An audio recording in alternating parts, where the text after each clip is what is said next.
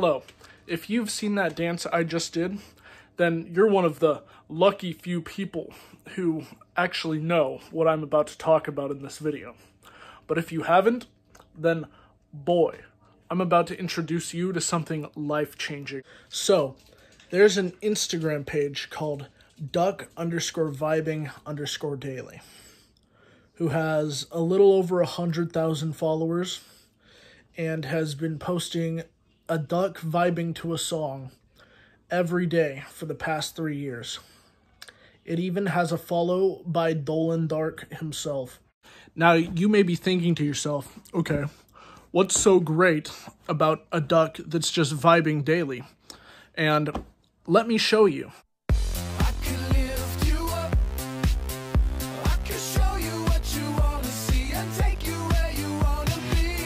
And now you may be thinking to yourself, okay, I still don't see the appeal, but let me share with you a story. And maybe by the end of it, you'll come to understand what's so great about this duck. There once was a man who, throughout his life, had experienced a great amount of traumatic stress due to committing to something or sticking to something regularly. And this man, he grew to fear commitment. You know, he just couldn't handle it anymore. So, for weeks on end, he would just sit around wallowing in self-pity, thinking to himself, what is wrong with me? Why can't I stick to anything? Why can't I just stick with one thing and be happy? And so he decided, being the uh, social media addict that he is, he would go on Instagram. And one day, when he was on Instagram, he found this account called duck underscore vibing underscore daily. And he noticed that the account has posted the same duck vibing daily. And he thought to himself, wow, what if I could vibe daily just like this duck? He saw in the duck perseverance, commitment, an overwhelming sense of positivity despite the outcomes.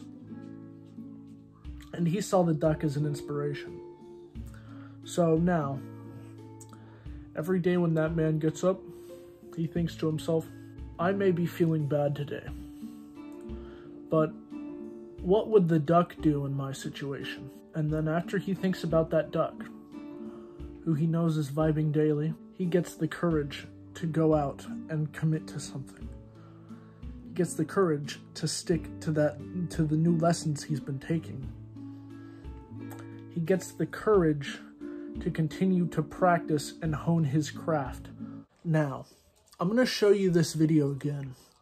And I want you to tell me if you feel differently about it.